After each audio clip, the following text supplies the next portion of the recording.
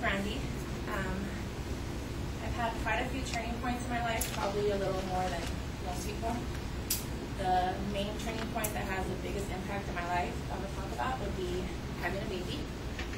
I have a daughter. Her name is Mariah. She's five and a half years old.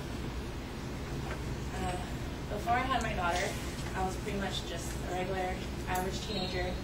My main goals were finishing school, graduating high school,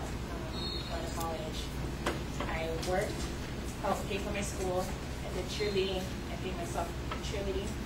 Uh, my job pretty much covered everything my parents didn't want to get me. If I wanted clothes, shoes, makeup, going out, all that.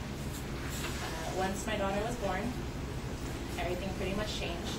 Um, I pretty much learned what it was like to be selfless, to have a lot of patience. Uh, working wasn't just for fun anymore, it's because I had to. Diapers aren't cheap. Um, and pretty much now, everything I do from now on is not just for me, it's for my daughter. So coming back to school, making myself do what I want to do in life, that's not only helping my life, but helping give her a better life as well.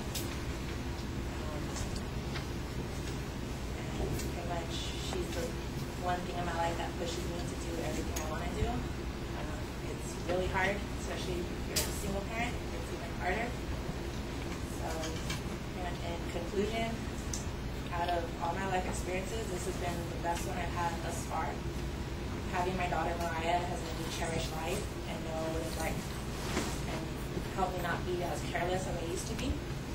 Um, and now I have another life to be responsible for. And I've also learned what unconditional love is and how hard you have to work to achieve what you want out of life for yourself and as well your family.